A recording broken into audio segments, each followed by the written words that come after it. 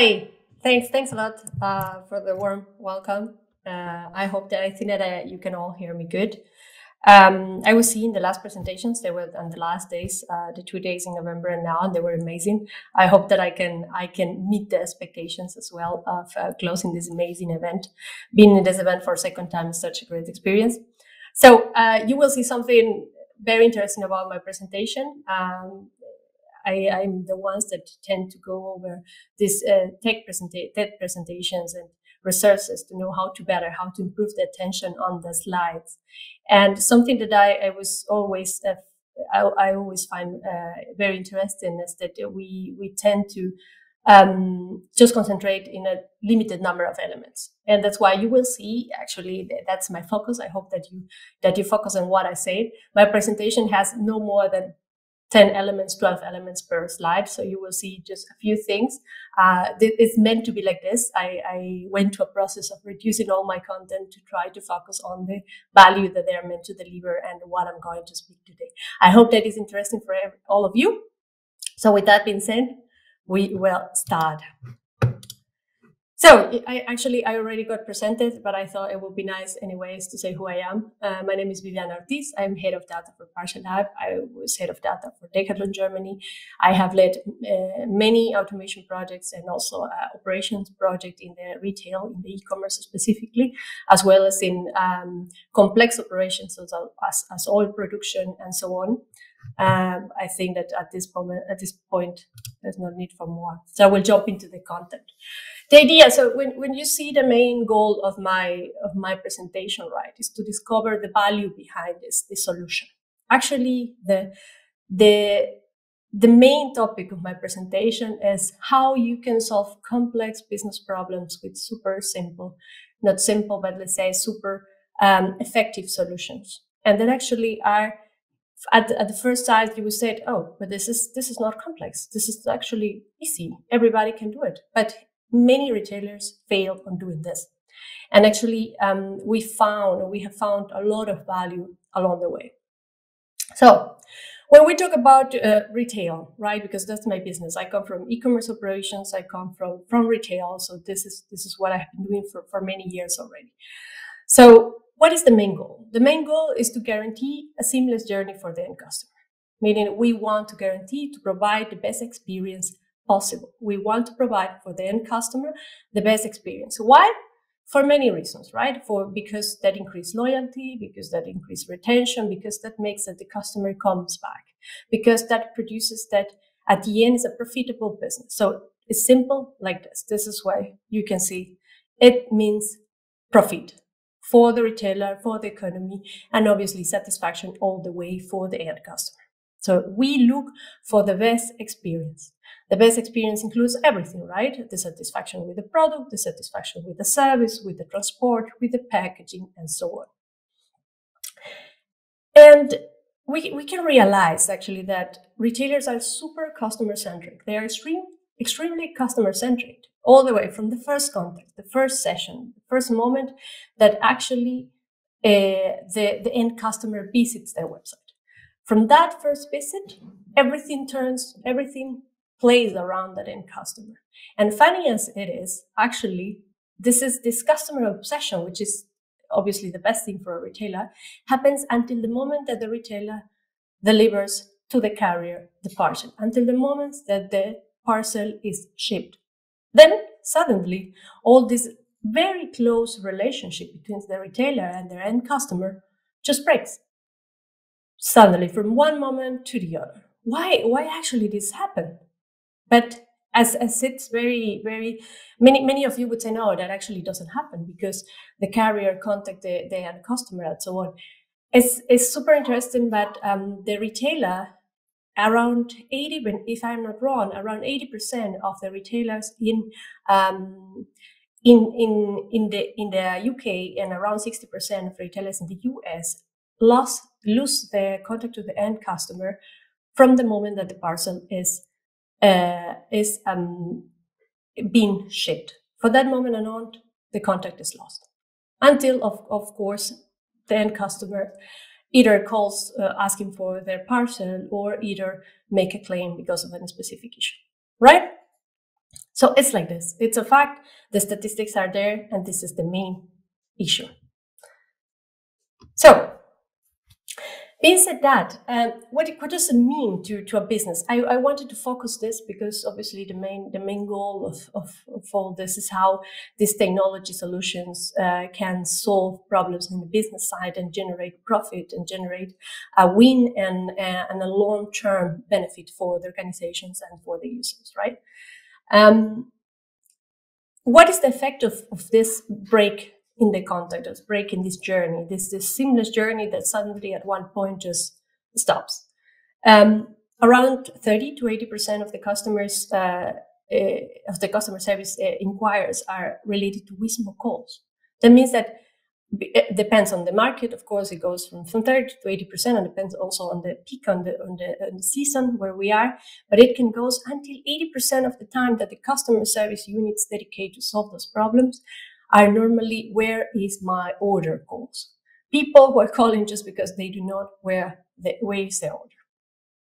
Around 2.5 to 6 dollars cost every call, every of these 30 to 80% of calls that are reaching out to the customer service cost that to the retailer. After this, uh, the parcel is shipped and this contact is broken. After that moment, there is zero touching points in the journey and zero additional traffic, of course, and of course, zero uh, conversions related to that original contact, right?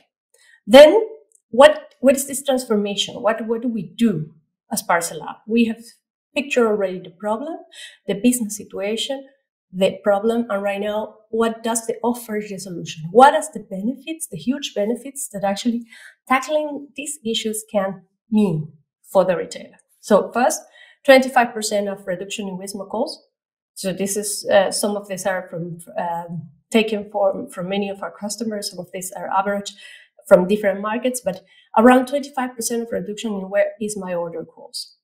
Given the, the cost per call and the amount of calls, depending on the amount of the e-commerce activity, this is a huge saving and a huge win uh, for the for the retailer.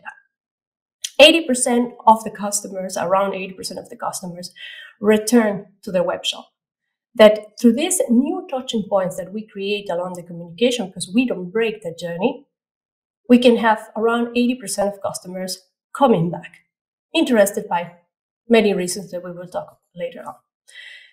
70%, around 70% of more positive feedbacks in the communications. So that they provide also feedback they are happy, that they are uh, that they feel satisfied with the service and the proactive communication that they receive related to their order. Around four new touch points per customer. That depends on the industry. It can go for, from two to four, depending on the industry.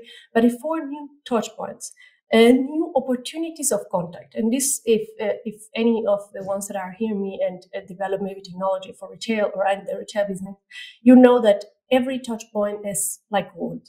So every possible contact with the customer to engage, to generate conversions, to generate loyalty is good. And of course, 10% of around 10% of increase in the basket size. So people tend to increase the uh, size of the order when they know that actually uh, they are going to have the support along the journey. So and then this is this is what what it's behind as a result, right? And now what, what do we do? What is the technical solution behind it? So let's start from a very general uh, conception of it. What is parcelLab? What is what do we do uh, as post purchase? parcelLab is a post purchase uh, platform, so we take care that this uh, journey, the breaks, actually we continue and we try to give the support and um, make the brands and the people closer during this part of the journey that actually has been proven to be the most sensible one. So managing all this data, because the job, basically our job is super focused on data, a lot of data and the supply chain complexity to manage over. Um, we deliver four things. So the post-purchase communications, the order status, data intelligence over that, meaning um, a lot of data and analytics products developed on the base of that data that we collect. We will see in the, in the following slides. And support on the returns, through a, a very uh, expanded returns portal and um, guarantee management system, um, which tends to help a lot for uh, for the retailers to manage their returns, which maybe you know in apparel can go up to 25, 26% of the orders, right? So, and that, that, that was like the concept of the business, right? That is what the product itself it is. But how does it work? What is the process of that working in, the, in a more technical and specific way of this digital product that can help the retail to save money, to improve the service, to create loyalty, to retain customers? So basically, our business is a lot of, you, you, can see the different process. So the onboarding, which is mainly data integration. When we talk about onboarding of the customers, we talk about the integration of their data, the integration of the data and the integration of the data from uh, from the carriers. That's why we and we integrate this complexity and we try to manage to simplify it into our own data model to try to trigger many of the things that we spoke. For example, the status, uh, either if it's a page, in a communication, an SMS, a mail, a chat, whatever that is required from the retailer side for us to trigger um, that uh, proactive communication related to the purchase. And by the end, of course, the returns portal, which is a complete platform to manage all the returns, including label printing, uh, return status, and so on for the customer, return registration, of course. I have focused um, most of the presentation or, or from, here, the, the rest of the slides, I have focused on the um, the simplicity, the magic, what, what I call the magic. There's, I would, I would love to have more time so that we can go in each of the topics more deeply, but I have tried to concentrate each of them in um, the simplicity related to that part of the technical solution that actually makes us so valuable. And that's why we start with the first, the first magic secret, let's say. And this is, this is applicable for any other solution, any digital product, or when you develop a digital product. For me, it is, it comes to, um, how to tackle the solution to the problem, right? And in this case, I have tried to put in what are the secrets that make this solution so profitable for retail. So first is extreme, easy and flexible retail data integration and status retrieval.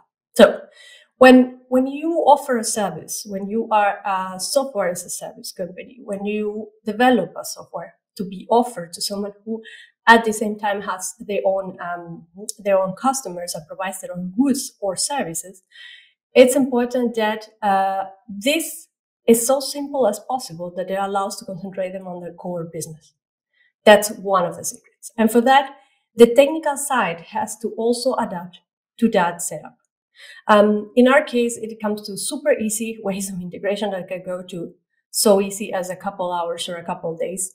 Um, we are able to collect data from via API, uh, file base, meaning a transfer of, a file, of, a file or XML or a CSV file uh, via email, uh, which is as, as funny as it sounds, because many, I saw obviously um, there have been super interesting topics when we talk about industry 4.0, 5.0, or we talk about digital twins, or uh, we talk about um, about a virtual reality, augmented reality. There's a lot of stuff for data and AI, which is my business. Uh, when we talk about that, the, the, solutions are normally very complex and takes a lot of research and development on the way. And this, when I, when we speak and we said, okay, our solution integrate data sometimes when it's needed per email. And as, as, as funny as it could sound, is because simply not necessarily the most complex is the solution for your problem. The idea is to allow them to speed up, to ramp up as fast as possible so that they can start engaging their customers and just transferring the data.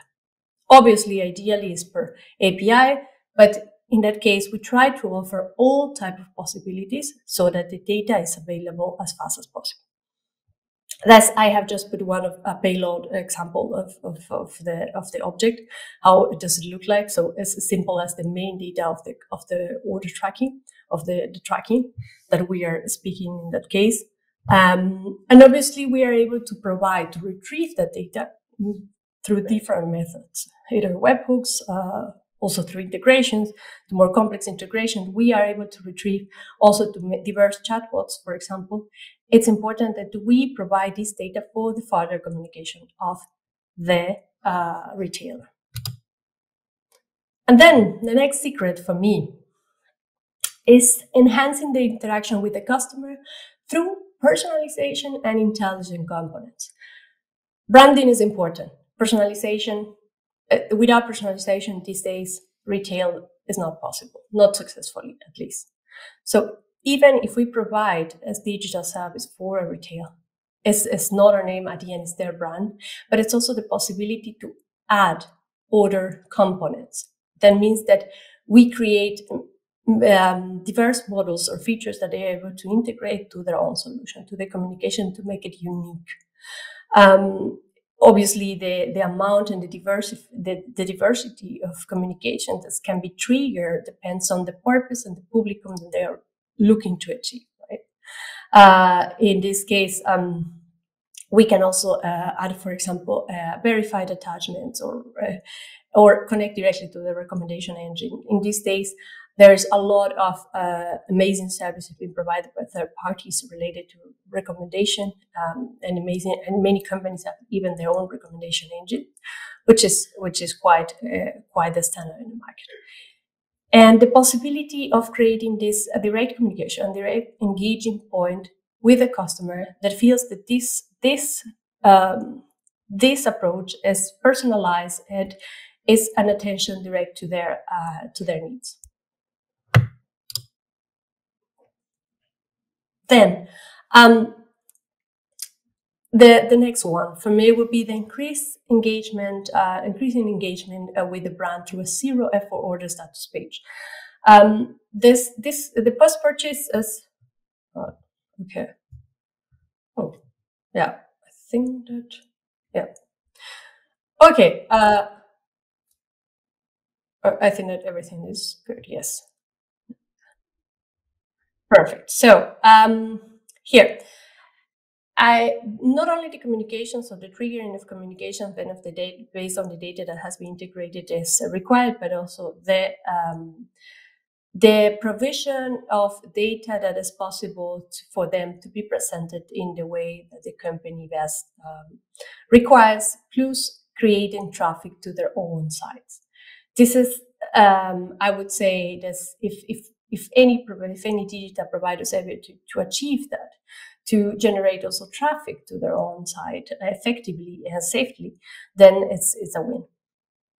In this case, uh, for example, it's, it's, as simple as just the retail creates a landing page, they copy the snippet uh, and in, in the body of the of the of the of the page and they are ready to go. Obviously, there are other functionalities that they can integrate there. Um, depending on, on add-ons that they, that they would like to have.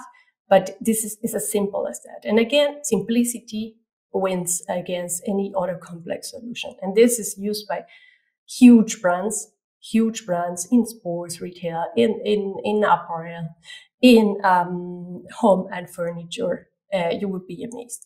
And this is uh, such a simple, but such as helpful and such as powerful.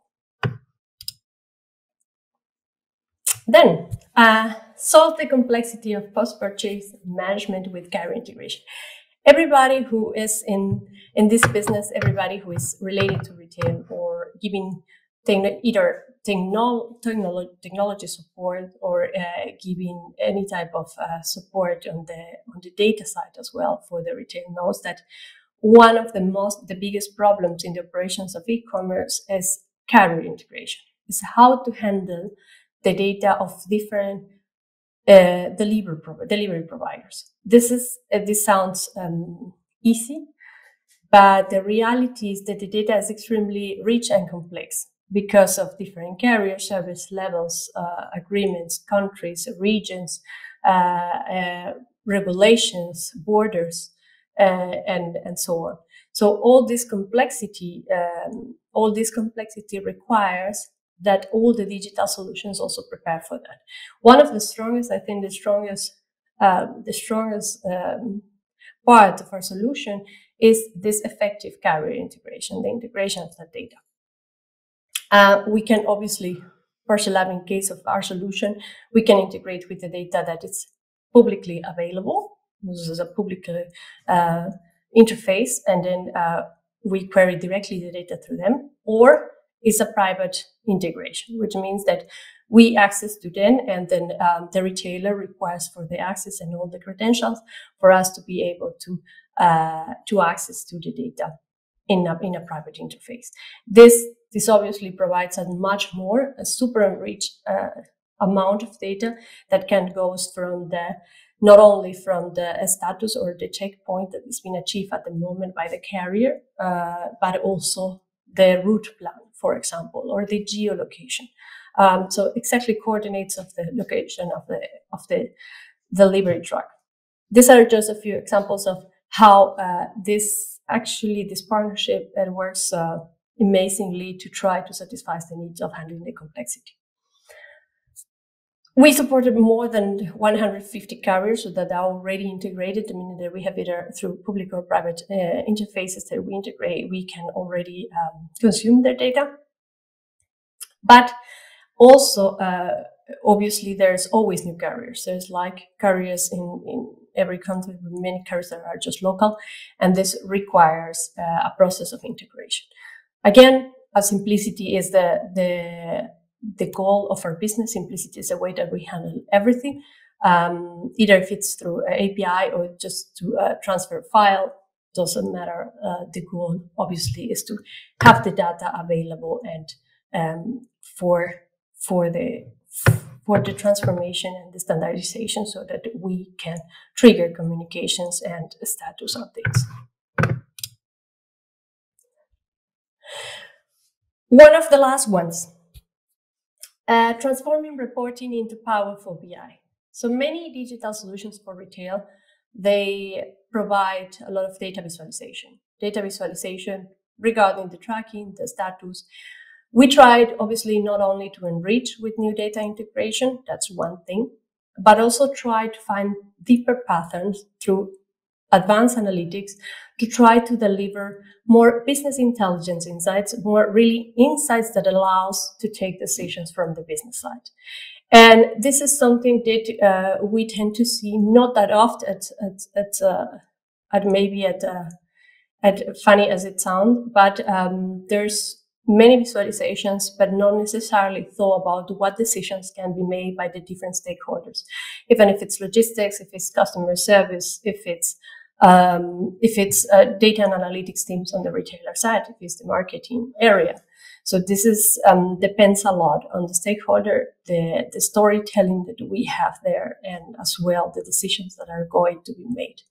Um, we have run in our for our new that's going to be this is kind of a sneak peek because actually um, this view in the in the left side is the new uh, the new analytics module from parcelLab, uh, which has been taking months and months of strong, strong work. Um, uh, it's around 2,250 queries differently. Uh, we have run a lot of new metrics. We have new metric data, new metrics, new dimensions, um, as well as new interpretation and comparison between, between different um, timelines. That's, uh, that's quite interesting. And the idea always uh, is to challenge this from the business based on what decisions can be uh, executed uh, on, on the base of that.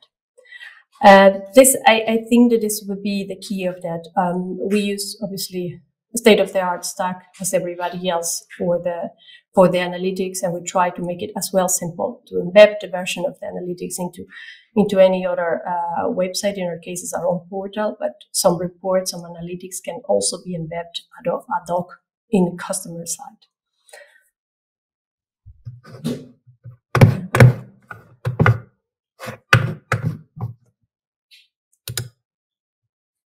So and the last one is is uh, maybe the one that is uh, that is more uh, close to my heart because of my business. Um, using AI to manage and exceed expectations. As we spoke before, it's not always using AI because it's the password of the moment because everybody's doing AI, specifically everybody's doing ML, machine learning, and everybody wants to use it to solve all type of problems. Not that doesn't mean that actually machine learning or any type of AI is the best solution for all problems, especially in business. Um, as we saw before, we have seen a lot of a lot of um, issues or business requirements that we can tackle from an analytics perspective. Either if it's data visualization, even if it's extractions, even if it's uh, export and simple queries, uh, or just delivering raw data through the platform that they required ERP, uh, uh, customer management, uh, uh, customer data platform of, of, the retailer or many other own own technology or own infrastructure, right, from from the our customer side. Um, so it's not necessary that AI is the solution to everything, but there are problems, there are business problems that can be really good. Um, that can be a very good good use case for AI.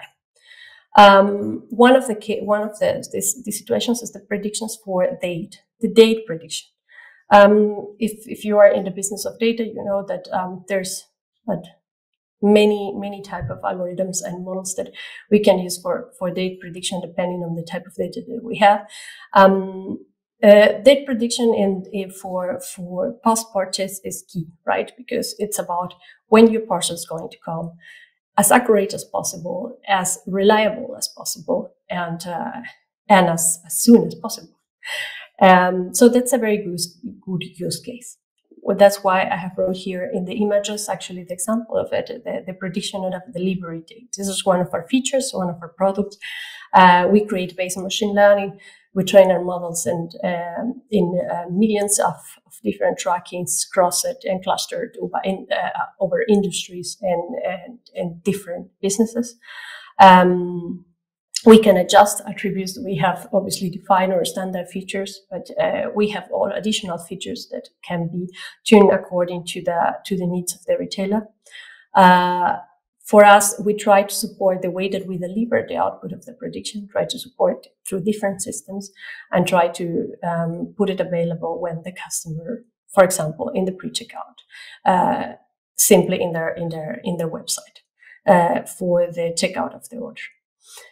This is again a critical example of, of um, simplicity. The is, a, is a AI at the end of the day is, is state of the art. Uh, it's, it's super complex from the the amount of work that it requires, the, from the moment that you do an EDA to the moment that you optimize the model, um, and all in the middle. But uh, that doesn't mean that the solution itself it has to be uh, complicated. Um, this is uh, this is one of the things. Um,